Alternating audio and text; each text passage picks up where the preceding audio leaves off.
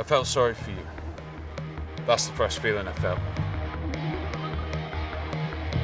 But after 41,071 emails, 350 hours of voicemail, 744 tweets, 46 Facebook messages, three fake Facebook accounts, 106 pages of letters, some sleeping pills, a woolly hat, a pair of brand new boxer shorts.